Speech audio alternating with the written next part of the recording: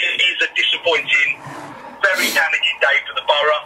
Um, and it's a great shame because this route will not fix the problem that Highways England was set out to, uh, to fix. Mm. So, uh, so bad day all round.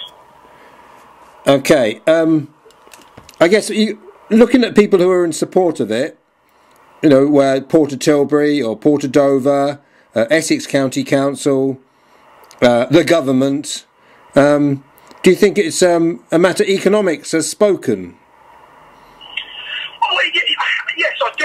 I think I think that, but also I feel sorry for those people to a certain extent as well because they've been sold they've been sold hope, hope that this is going to relieve congestion at the current crossing, and it's not going to do that. Highways England have been, you know, been very manipulative with the, with the information that they've shared and they've distributed. Um, but the, the, the cold hard facts are these. Option three, Highways England say will remove one in eight cars, 14%. But by 2025, when they want the crossing, the new, the, the new road to be open, traffic inflation data, their own traffic inflation data, says traffic will, and, and vehicle usage will grow by 15%. So the problems at the current crossing will still persist and it will still be overcapacity in 2025. So the local people that have supported, what they've actually supported is they've supported anything. Anything that they believe will help the current problem, but they've not dug into the detail or they've actually been uh, they've not, uh, uh, you know, they've not taken the time to understand the data that Highways England are presenting mm. because their own data proves that this will not solve the congestion problem at Dartford Crossing, but it will unlock brown belt land for them to build on. It will unlock.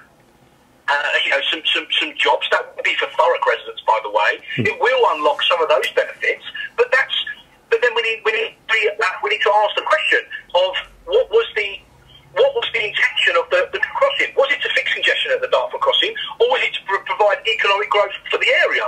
Hmm. If that is the case, then the, cons- the consultation which they conducted was ultimately flawed and deceptive, which it was it was anyway, um, because for half of the consult- consultation, option A wasn't even included in the documentation they sent out. So. Couple that with the flawed consultation, couple that with the the, uh, the data that Highways England have, have, have, sent out, and couple that with local enterprise, uh, other MPs, um, uh, surrounding boroughs, they've just supported whatever option was quickest mm. or cheapest. So, uh, you know, yeah, it's not a good day. So what's happens now? Should everybody take the advice, really, going back to the um, Thames Crossing meeting back in February of last year when Jackie Doyle Price said, deal with it and get the best deal possible? Is that what we should do now? Well, I, I mean, I, I, I, disagree with everything that Jackie Doyle Price is saying. You know, um, I think, however, in this instance, even Jackie Doyle Price acknowledged that this route was the most destructive route for Thurrock. What needs to happen now is, a, in my opinion, and this is what uh, I'll be taking the com- campaign group through, is we need a two-pronged approach. Number one, that is, we still oppose this route. We still think it will not add the value or the benefits that Highways England think it will. Plus, it will carve up 495,000 square metres of greenbelt land and uh, uh, you know carve up the entire borough, including people's homes and businesses. Um, but at the same time, we need to be able to have dialogue with Highways England. We need to work with our elected officials in the council and our MPs, including Jackie Doyle Price, um, to make sure that if Highways England persevere and, and, and insistent on getting this route through, then we need to make sure that we are protecting ourselves and we get the best out of it for Thurrock and the people and the, and the residents of it. And that includes how can we protect and save as many residential homes as possible? How can we limit and mitigate the pollution um, impact that's going to uh, obviously increase um, over in 2025? How can we save as many businesses as possible? How, how much of this route can we put underground, as an example? All of these things we have to be able to discuss with Highways England. But to do that, we've got to have a seat at the table. We can't just put our fingers in our ears and pretend it's not happening. So, two-pronged approach. We will still firmly say we disagree. We do not want this, this route, uh, route through Thurrock. But at the same time, we need to absolutely have dialogue and a seat at the table with Highways England to protect the residents of Thurrock and our land. Well, I think you've just answered my question. That therefore, that you're far as a group, you're far from finished.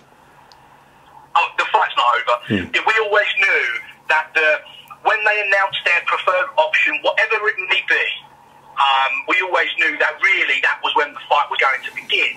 Um, and I fully intend to support the, uh, you know, the, the, the very vast majority of uh, the population of Thurrock who think this is a very bad idea. And I genuinely believe that people who think this is a good idea are misinformed.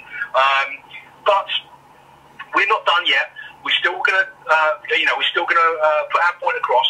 But at the same time, we want to have um, open dialogue with Highways England. We want to express our concerns in a mature and professional way, but at the same time, express that we have we have genuine concerns about the um, uh, the route doing what Highways England was set out to do, which is fix congestion at the Dartford crossing.